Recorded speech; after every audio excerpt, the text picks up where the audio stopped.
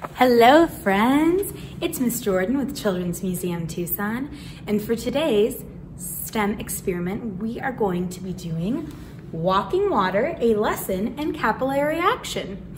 We will also be discussing color mixing just a little bit. All right friends, so let's get started. What's capillary action?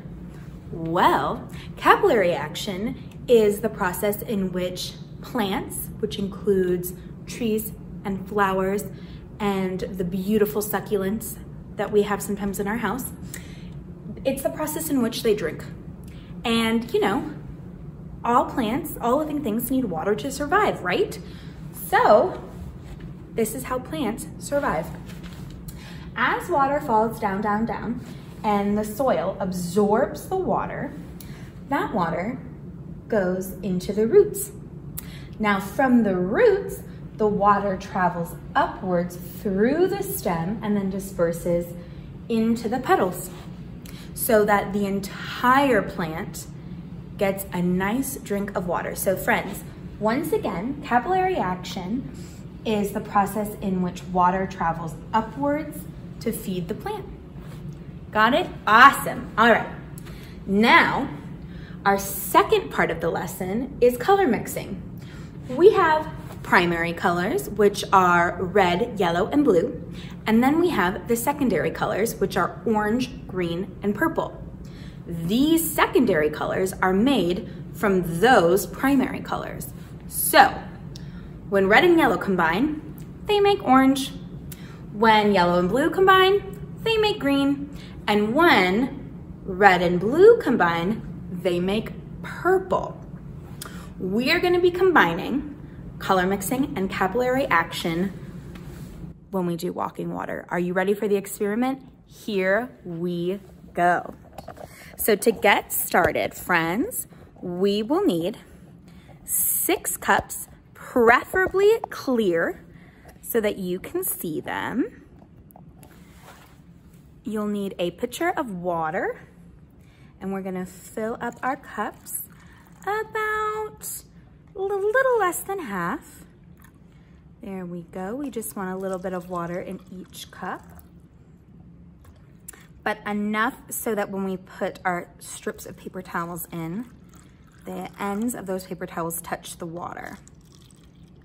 Very nice. Okay, so six cups, a pitcher or a glass of water, and then we will need yellow, blue and red food coloring, or also known as the primary colors. So we're gonna go ahead and put a couple droplets of red in one cup. Then we're gonna go ahead, we're gonna skip this middle cup, and we're gonna put yellow in another, we're gonna skip that cup and we're going to put blue in this cup. Fabulous. Now, friends, here's where capillary action comes into play. We are going to place our strips, we'll need six of those, our six strips of paper towels into our cups.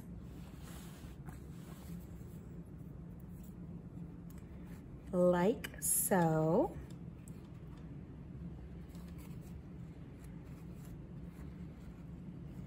There we go.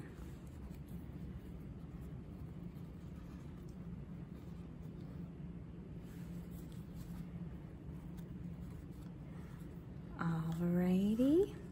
And so what the paper towels are doing is they're acting as bridges. They are going to help the cups that have color in them transport the color into the clear cups. So we're gonna let this sit and as you can see, oh my gosh, look at that.